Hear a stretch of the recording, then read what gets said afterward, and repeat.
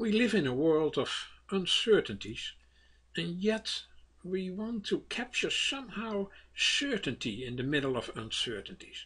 It doesn't matter whether you are talking about gambling or statistics or genetics or financial issues or in physics.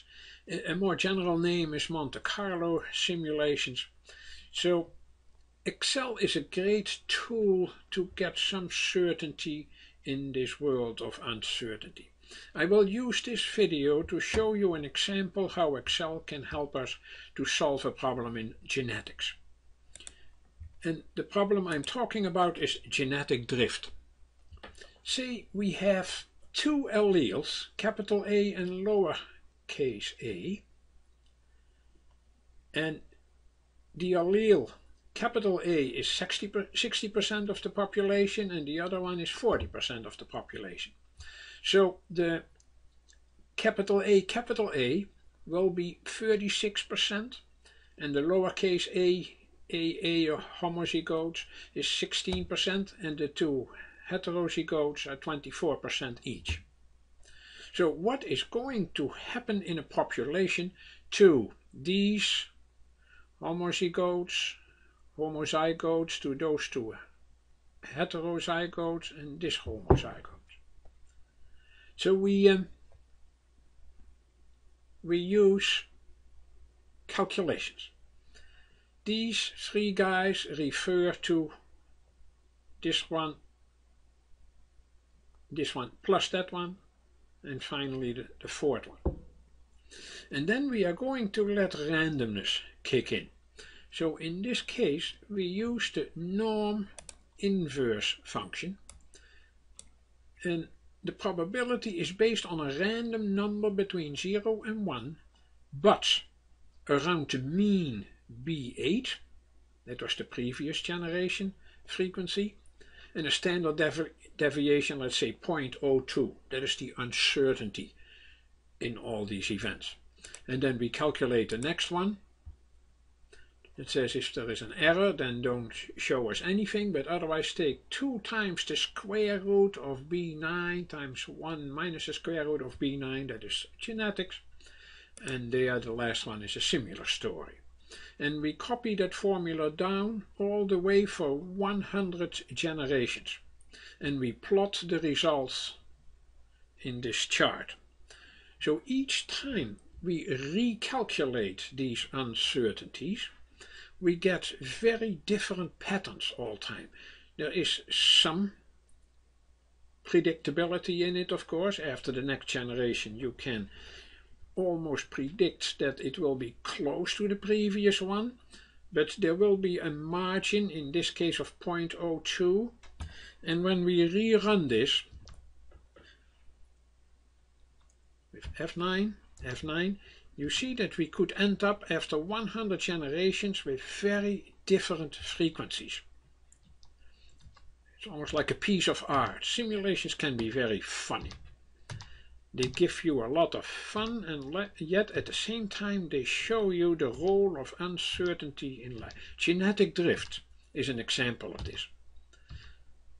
And though we start always at the same point here, that is B8 C8 and D8 based on 60% for allele capital A and 40% for allele lowercase a, we get very different outcomes after 100 generations. Let's say we would like to repeat this 10 more times, these 100 generations, and see what happens each time. So I'm going to show a new kind of table. And I plot in here the percentages after 100 generations. So this one is a reference to the cell B108. Let me show you where that is located. Somewhere here. The last three cells tell you what the end result is after 100 generations.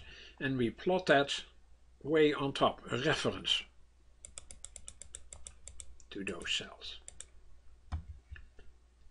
I'm going to hide that column for a moment. And how can we rerun these 100 generation results another 20 times. We create what they call a what-if analysis with data tables. You select from the origin the entire range, include the references way on top and include an empty column here that has nothing in it, but sometimes you want something in there. In this case, we don't. And we are going to do a what-if analysis, data, what-if analysis with a data table.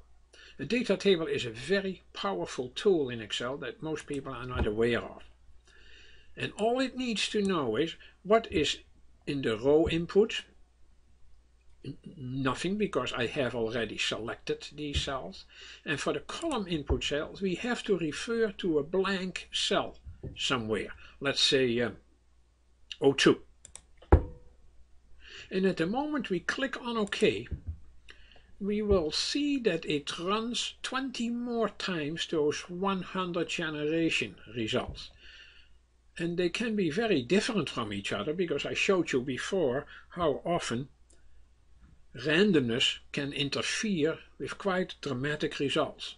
So if I keep rerunning all of this, I get very different results all the time. The, the graph only shows me the first run in columns A, B, C and D.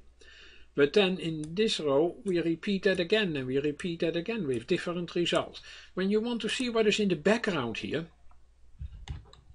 I will show you the formulas in the background here, it puts in there what they call an array function that uses the function table. You cannot type that function. It is not an existent function in Excel. Of course, it is in Excel, but it's not available for you to use. You have to do it through that menu.